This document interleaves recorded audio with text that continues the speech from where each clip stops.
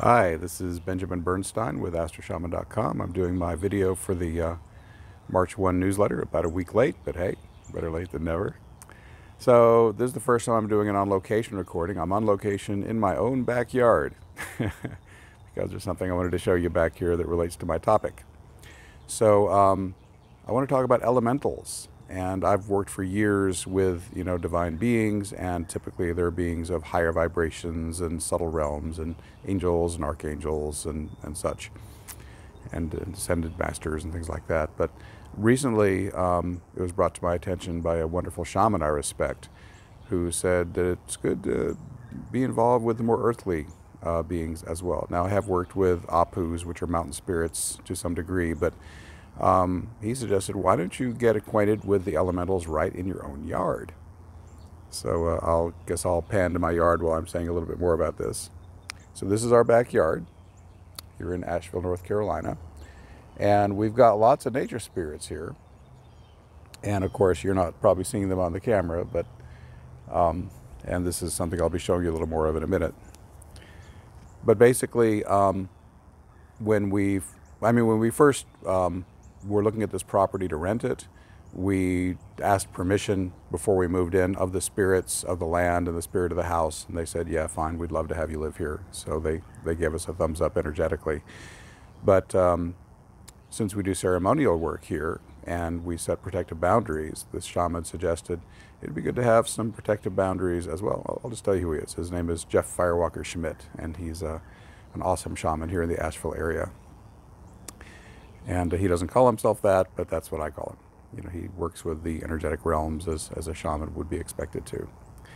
I'm not sure what he does call himself. He says, I don't like to use the word shaman to describe myself. It's a very strong humility thing for him. But um, getting away from nomenclature, um, the point is, he said, cultivate those, those nature spirits. It'll be a lovely relationship, and they also are good at protection. And of course, when you do ceremonial stuff, then it's nice to have a, a protective field around you. So we came out here and uh, we built a little altar and I'll, I'll, turn the camera back to that so you can hopefully see that. Now I can't see what you're seeing here so I'm just praying that it's in the shot like it should be. Um, but these two stones were gifted to us from our friend Aaron who found them on a, a mountain called Bowcatcher or just to the side of it which is a sacred mountain where we, well, some shamanic folks have built what's called an apacheta, a place of, you know, giving you know, energy to the mountain and honoring it and, you know, developing a relationship with it. So this is not an apacheta, it's just a couple of stones with some extra stuff. But this is our communication point with the spirits of our land. So we come out here, as you can see, we've put stones and flowers and some, they love alcohol, so we have some wine there or whatever that is. and uh, so basically this is us showing them, hey, we, we respect you, we think you're important, and I come out here, and or Maeikisala does, or I do, and we do things like we offer it Florida water or tobacco, sprinkle a little tobacco.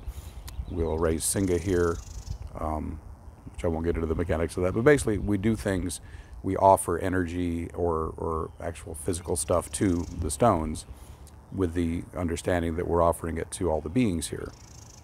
And when we first became aware uh, energetically of the nature spirits here, it surprised us because they're like little kids. They're like, uh, it was like jumping up, oh, yay, yay, yay, they're paying attention to us, yay. And God knows how long it's been since the spirits of this property had a person actually consciously paying attention to them. So uh, they're like little kids, and it's delightful to, to hang out with them. And, uh, and I guess you know, I'm not just trying to tell you an amusing anecdote. There's also things you can do if you want. So wherever you live, whether you own the property or rent it or whatever, there's there's spirits of the land. I mean, everything has a spirit. So if you and the formality of it is not important. You don't have to have stones like we have or specific things, but just the intention of I acknowledge that the spirits of the land are real, and I offer you honor and reverence and you can either just do that and offer, or in our case, since we have developed a shamanic relationship with the spirits, we've asked them for something. We say, we want your protection when we do our ceremonial work, and we want your protection overall. And they're happy to do that. And in sacred reciprocity, it's a beautiful thing. So um, even if you just you know, you don't have to have a central stone like we do, although it's, it's helpful to have a focusing point. Um, you can just go out and, you know, just communicate broadly with the nature spirits. So the way you do it is way up for grabs, and you should do it in the style that works for you. But um, if you live someplace, then having a, a, relationship with the spirit of the land can be super helpful. Also, the spirit of the house. This is the back of our house. Hopefully, that you're seeing more or less the back of the house here. Um, this the the house itself also has a spirit, and we've developed a working relationship with that as well.